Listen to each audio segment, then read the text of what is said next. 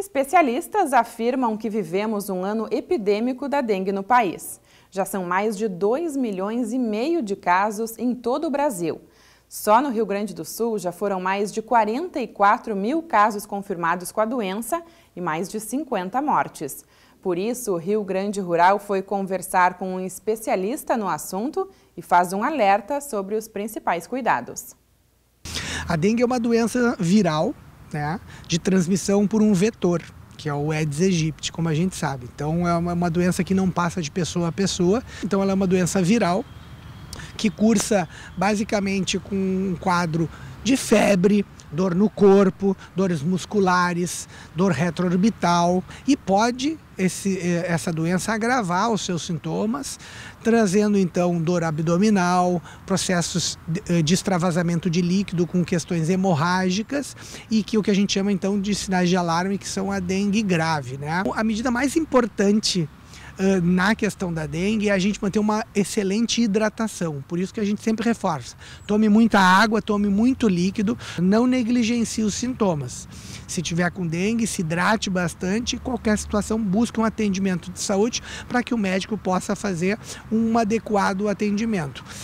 Quando a gente pensa, então, para evitar essa doença, se a gente não tiver a picada do mosquito infectado pelo vírus, não é todo o Aedes aegypti que tem, a gente não vai ter a transmissão da doença. Então, quanto menos vetor a gente tem, menos chance ele tem de achar uma pessoa doente, picar essa pessoa, se infectar e vir a picar outras pessoas. Então, uh, parece que é um clichê que a gente fala há muitos anos, né? Evite água parada, né? Evite né, a questão uh, dos criadouros, e isso é o mais importante.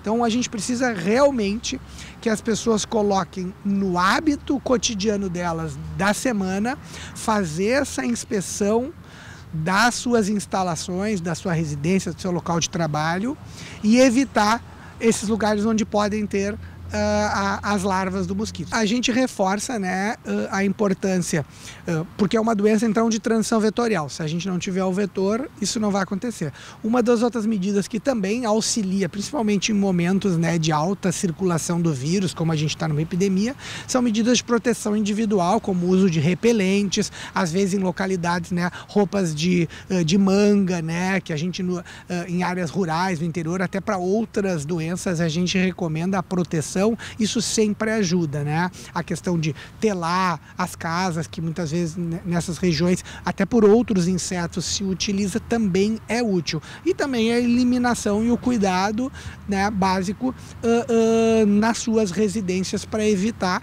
locais onde possa ter um maior acesso do vetor. E importantíssimo, não negligenciar sintomas.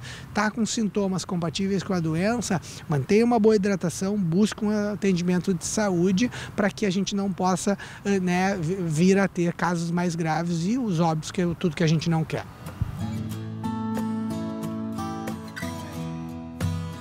E a Emater entra no combate à dengue nas propriedades rurais, orientando sobre os cuidados básicos para evitar o criadouro do Aedes aegypti.